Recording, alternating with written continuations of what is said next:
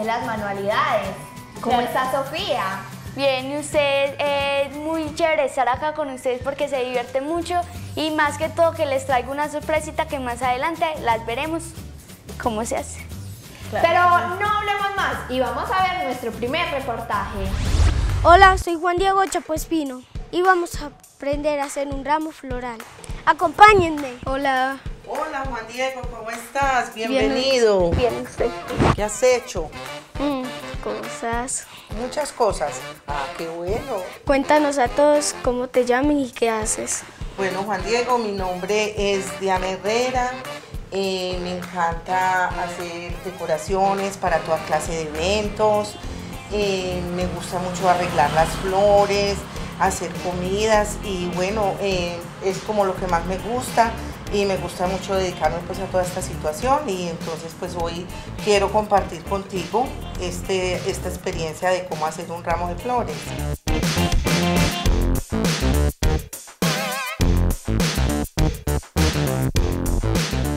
Bueno, Diana, empecemos. Bueno, Juan Diego, ven y siéntate por acá y vamos a empezar. Eh, siéntate. Eh, bueno, mira aquí tenemos gran variedad de flores, eh, tenemos rosas de varios colores, mira que son los colores muy lindos, hortensias que también vienen de muchos colores y es una flor muy bonita. Entonces hoy me gustaría que me dijeras con qué flor te gustaría que hiciéramos un pequeño arreglo con los claveles. Ah, bueno, Juan Diego, eso está muy bien.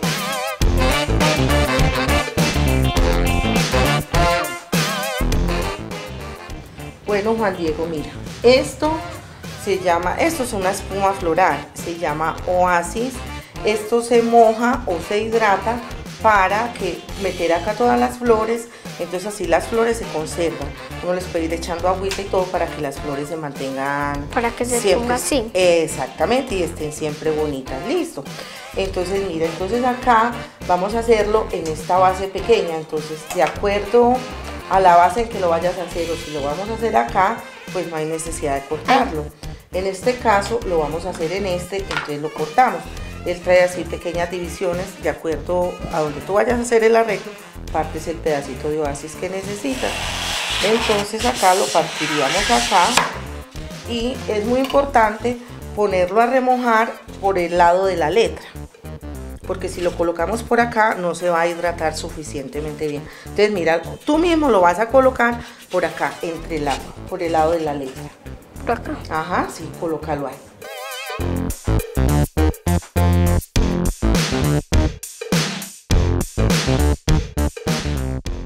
Entonces mira pues Juan Diego, ya aquí tenemos el oasis mojado, listo. Entonces ya lo dejamos escurrir un poquito y lo metemos acá entre la basecita que vamos a usar para hacer nuestro arreglo floral. Mira, estas hojitas se llaman rusco. Le vamos a buscar un frente y siempre le vamos a buscar unos los copitos que estén más bonitos. Entonces vamos a empezar por acá. Bueno, Juan Diego, entonces ya tenemos como una base del ramo, listo. Entonces ahora le vamos a colocar este, esta matica, este follaje que es muy lindo. Esto se llama gixofilia. Gixofilia.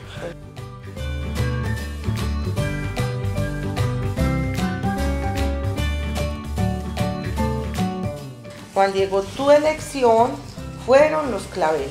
Entonces, bueno, vamos a hacer ya con los claveles. Entonces ahora quiero, si tú quieres, tú mismo tú lo vas a ir colocando en el orden que a ti te parezca. Sí. No. Ah, bueno. Bueno, entonces vamos a partir. Tú me lo vas a partir más o menos por acá.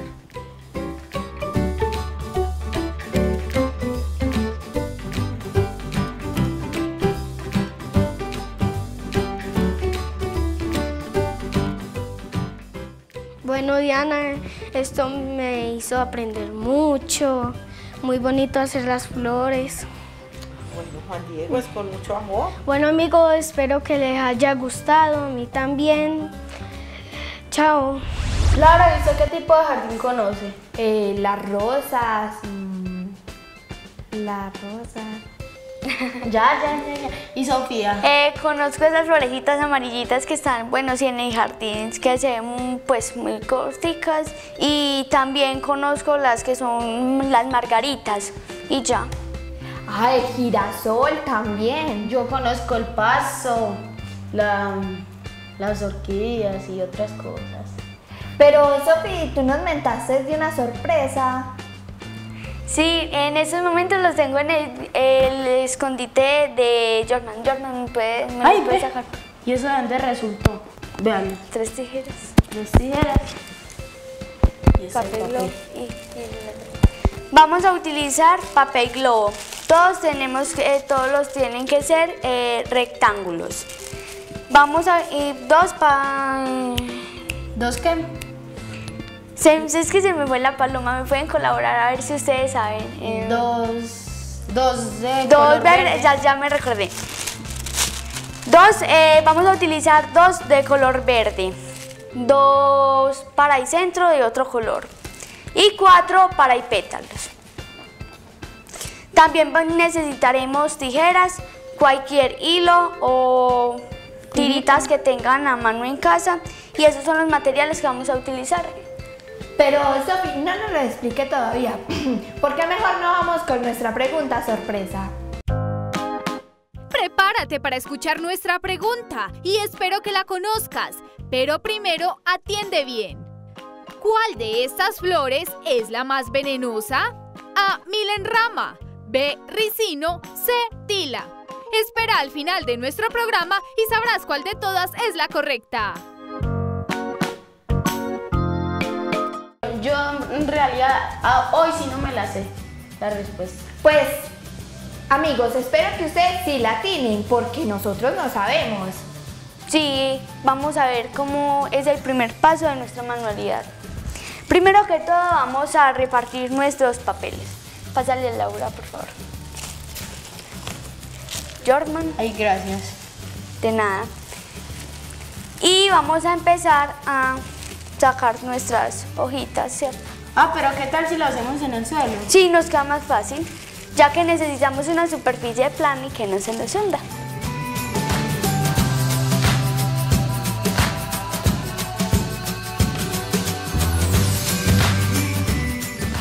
Bueno, empezaremos a medir a que nuestros dobleces estén igualitos, ni uno más salido que el otro, para que nos dé todo, nos quede tan exacto que nos, no nos sobre nada. Después de haber hecho este paso, cogeremos y haremos eh, los dobleces que son efecto acordeón.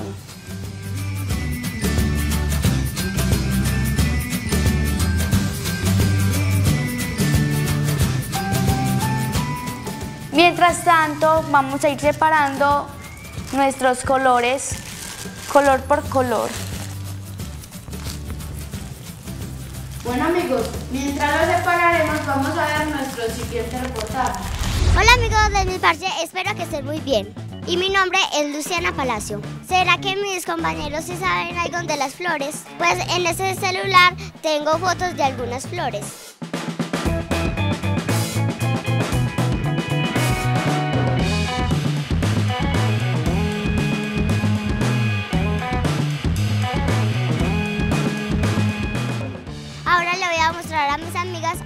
Si saben cómo se llaman las flores. Pero solo tienen 5 segundos para pensar. Y vamos a ver quién gana.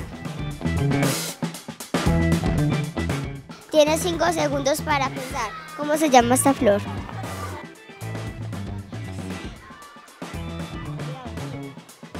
La orquídea. Orquídea. Se llama orquídea. Bueno, amiguita, ¿cómo se llama esa flor? Flor. ¿Cómo se llama esta? Girasol. Girasol. Girasol. Girasol.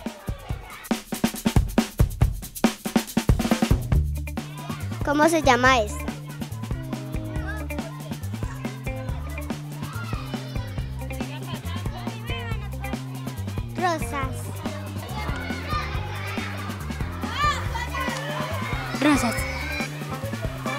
Rosa. rosa.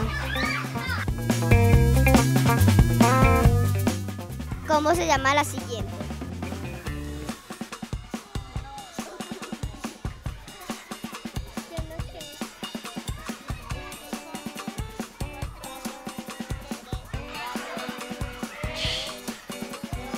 Orquídea. No.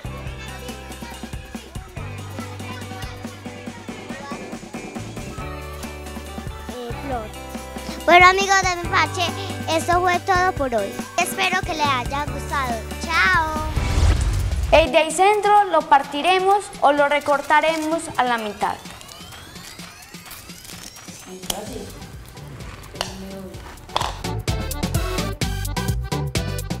Y los dejaremos por el momento a un lado.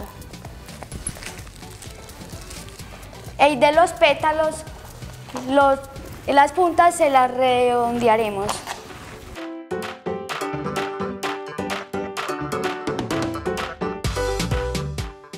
Ahora, en vez de redondear las puntas de nuestras hojas, eh, las vamos a po- poner, eh, bueno, las vamos a recortar en punta.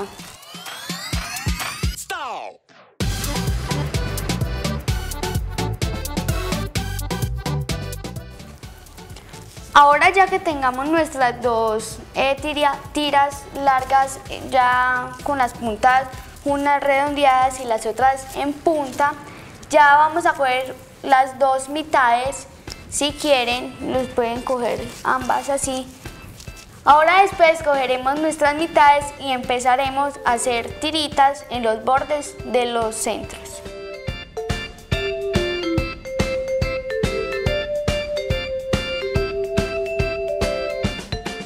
Y cogeremos también la otra mitad.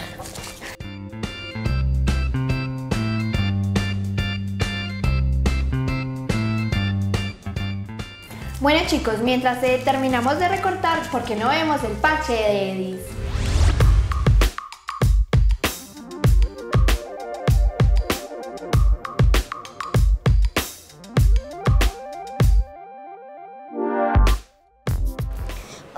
De mi parche, Eh, yo me llamo Edis Giraldo y mi parche es jugar.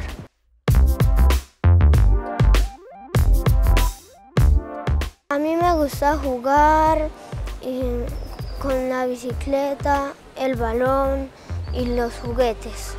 él mantiene muy feliz y vivimos en un espacio muy amplio que se presta pues para que muchos amiguitos quieran y mantienen, dicen en la casa que quieren ir a visitar a Edis. También me gusta jugar con mis compañeros y compartir con ellos. Juguetes favoritos son los dinosaurios y me llaman mucho la atención. Y cuando mis amigos van a mi casa, sacamos todos los juguetes para jugar juntos. Otro de mis parches es leer. Me gusta mucho leer porque me parece muy importante y me gusta conocer historias. Eh, eso les sirve mucho para aprender la ortografía y para que les vaya bien en el estudio.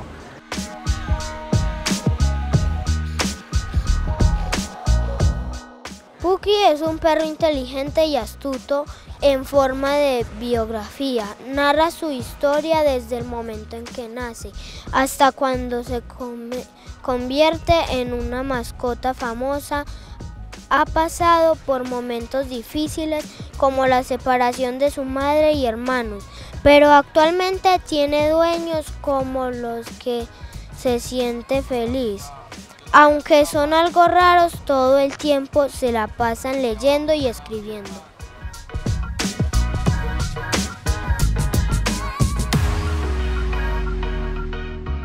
Bueno amigos de mi parche, eso es todo lo que más me gusta. Chao.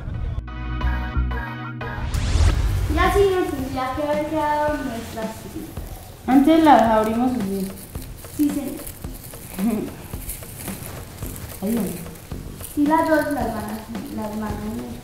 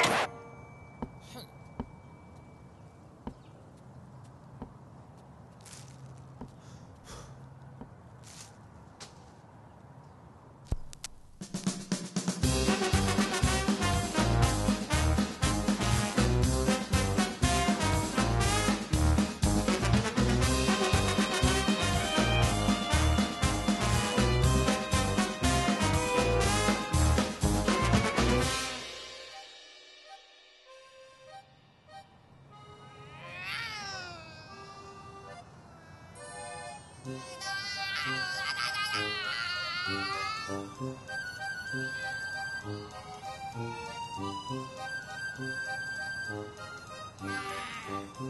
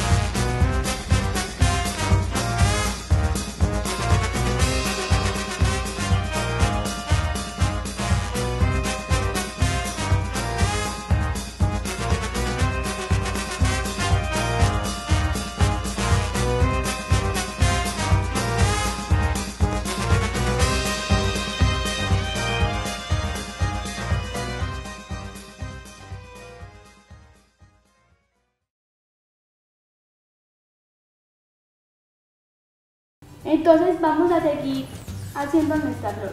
Ya después de tener hecho esto, vamos a amarrarlo en todo el centro. Después empezaremos a abrir y a sacar del centro hacia afuera.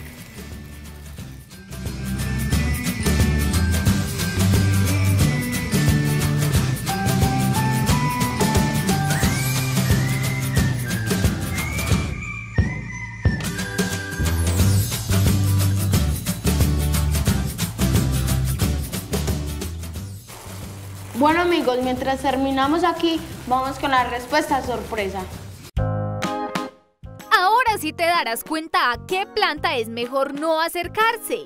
Escuchemos de nuevo la pregunta. ¿Cuál de estas flores es la más venenosa? A. Milenrama. B. Ricino. C. Tila. Y la respuesta correcta es la B. Ricino. Es una planta que en muchas partes se utiliza como jardín, desconociendo lo venenosas que pueden ser. De sus semillas es que sacan el famoso aceite de ricino, pero si se consumen de manera natural, al igual que las flores, podrían causar hasta la muerte. Así que ten cuidado con comer plantas que no conoces. Bueno amigos, esa, esa respuesta, el nombre de la flor es como todo raro. Sí, ¿cómo era que se, cómo era que llamaba? Ricino. Eso, ricino. Yo creo que existe también un aceite de eso, pues no sé para qué sirve, pero existe. Sí, existe. Y además recuerden que la, la, la flor de la isla C son plantas medicinales.